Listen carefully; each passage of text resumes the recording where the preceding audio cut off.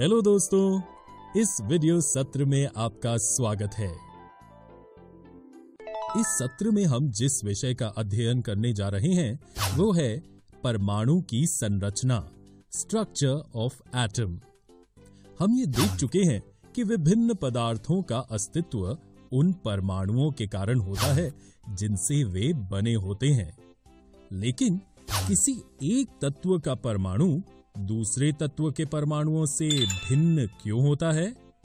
और क्या परमाणु वास्तव में अविभाज्य होते हैं? इन प्रश्नों के उत्तर हम इस और आने वाले कुछ वीडियो में देखेंगे। पदार्थों में अवशोषित कणों की प्रकृति जानने के लिए आइए हम एक क्रियाकल्प करें। सूखे बालों पर कंघी कीजिए। अब इस कंघी को छोटे कागज़ के टुकड़ों के नज़दीक ले जाइए। आप क्या देखते हैं? जी हाँ कंघी कागज़ के छोटे टुकड़ों को आकर्षित करती है। इस क्रियाकल्प से हम ये निष्कर्ष निकाल सकते हैं कि दो वस्तुओं को आपस में रगड़ने से उनमें विद्युत आवेश आ जाता है। ये आवेश कहाँ से आता है? इसका उत्तर तब मिला जब ये पता चला कि परमाणु विभाज्य हैं और आवेशित कणों से बना है। 19वीं सदी तक वैज्ञानिकों ने ये पता लगा लिया था कि परमाणु साधारण और अविभाज्य कण नहीं है, बल्कि इसमें कम से कम एक अवपरमाणु कण सब एटॉमिक पार्टिकल्स इलेक्ट्रॉन विद्यमान है। 1886 में यूजिन गोल्डस्टीन ने एक और अवपरमाणु कण की खोज की, जिसका आवेश इलेक्ट्रॉन के आवेश के बराबर किंतु विपरीत था और द्रव्यमान इलेक्ट्रॉन की अपेक्षा 2000 गुना अधिक था। इन कणों को प्रोटॉन नाम दिया गया। अब सबसे बड़ा प्रश्न ये था कि ये कण परमाणु की संरचना किस प्रकार करते हैं?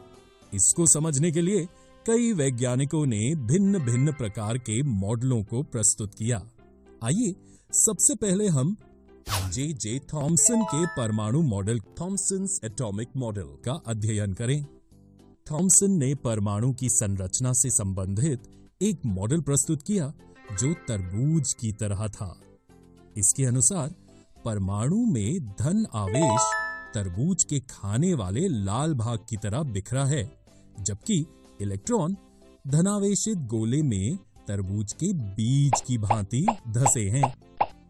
थॉमसन ने प्रस्तुत किया कि एक परमाणु धनावेशित गोले का बना होता है और इलेक्ट्रॉन उसमें धसे होते हैं। दो, ऋणात्मक और धनात्मक आवेश परिमाण में समान होते हैं, इसलिए परमाणु वैद्युतीय रूप से उदासीन होते हैं। यद्यपि थॉमसन के मॉडल से परमाणु के उदासीन होने की व्याख्या तो हो गई। किंतु दूसरे वैज्ञानिकों द्वारा किए गए प्रयोगों को इस मॉडल के द्वारा समझाया नहीं जा सका। अर्नेस्ट रदरफोर्ड ये जानने के इच्छुक थे कि इलेक्ट्रॉन परमाणु के भीतर कैसे व्यवस्थित हैं। उन्होंने एक प्रयोग किया। इस प्रयोग में तेज गति से चल रहे अल्फ़ा कणों को सोने की पन्नी पर टकराया गया। रदरफोर्ड ने सोने की पन्नी इसलिए चुनी क्योंकि वे बहुत पतली परत चाहते थे। सोने की ये पन्नी एक हज़ार परमाणुओं के बराबर मोटी थी। अल्फ़ा कण द्विआवेशित हीलियम कण होते हैं, अतः ये धनावेशित होते हैं। और क्योंकि इनका द्रव्यमान चार यू होता है, इसलिए तीव्र गति से चल रहे इन अल्फ़ा कणों में पर्याप्त ऊर्जा होती है।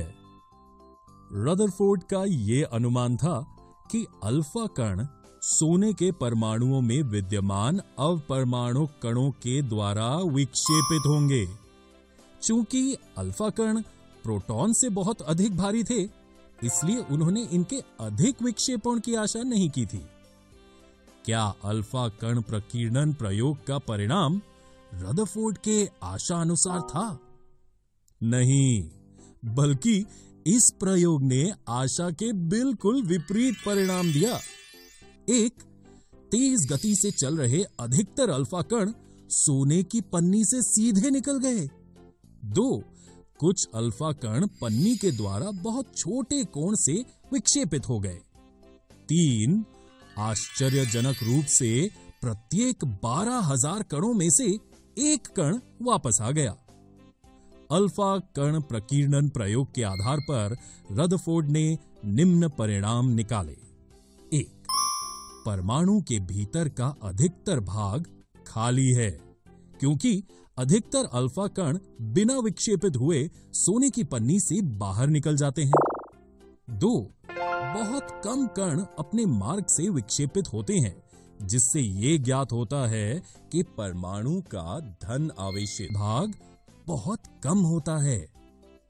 तीन, बहुत कम अल्फ़ा कण 180 डिग्री पर विक्षेपित हुए थे, जिससे ये संकेत मिलता है कि सोने के परमाणु का पूर्ण धनावेशित भाग और द्रव्यमान परमाणु के भीतर बहुत कम आयतन में सीमित है।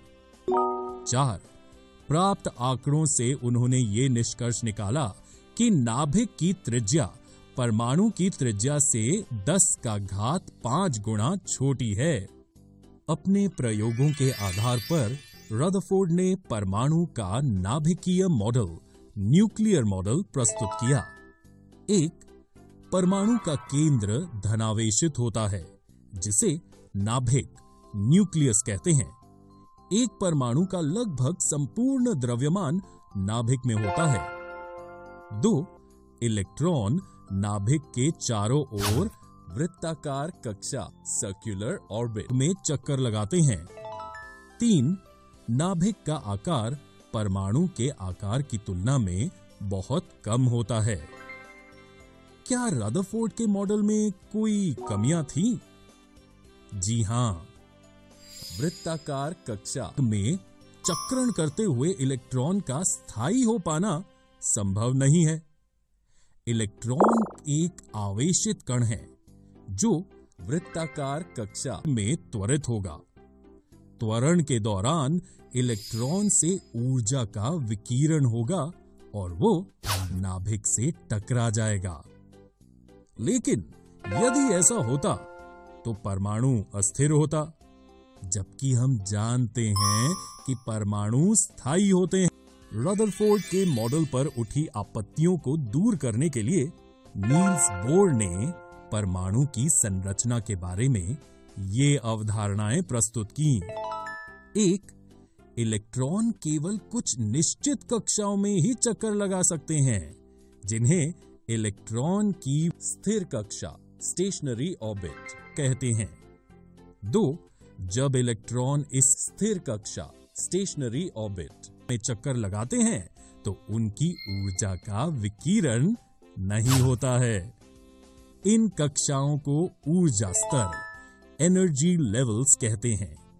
ये कक्षाएँ के एल एम एन या एक, दो, तीन, चार संख्याओं के द्वारा दिखाई जाती हैं। क्या परमाणु में केवल प्रोटॉन तथा इलेक्ट्रॉन ये दो ही कण विद्यमान होते हैं? 1932 में जेम्स चैडविक ने एक और अवपरमाणु कण का खोज निकाला, जो अनावेशित और द्रव्यमान में प्रोटॉन के बराबर था। अतः इसका नाम न्यूट्रॉन पड़ा। हाइड्रोजन को छोड़कर ये सभी परमाणुओं के नाभिक में होते हैं। सामान्यतः न्यूट्रॉन को एन से दर्शाया जाता है। परमाणु का द्रव्यमान नाभिक में उपस्थित प्रोटॉन और न्यूट्रॉन के द्रव्यमान के योग के द्वारा प्रकट किया जाता है। इस वीडियो में हमने परमाणु की संरचना स्ट्रक्चर ऑफ़ एटम का अध्ययन किया। अगले वीडियो में हम कक्षाओं में इलेक्ट्रॉन्स के वितरण distribution of electrons in orbits के बारे में जानेंगे।